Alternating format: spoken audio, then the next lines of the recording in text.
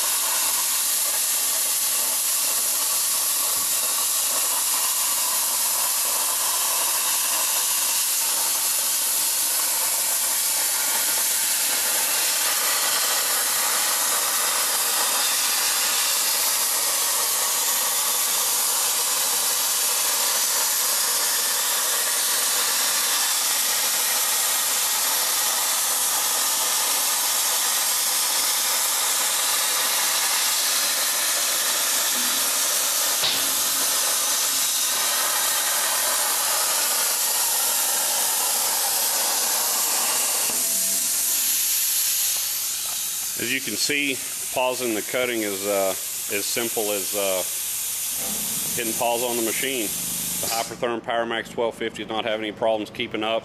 Been extremely happy with this machine so far and uh, really look forward to the, the advanced capabilities this is going to bring to our metal fab shop. So, uh, like I said, if you guys are, are thinking about pulling the trigger, I definitely think we got our money's worth. Have a great day.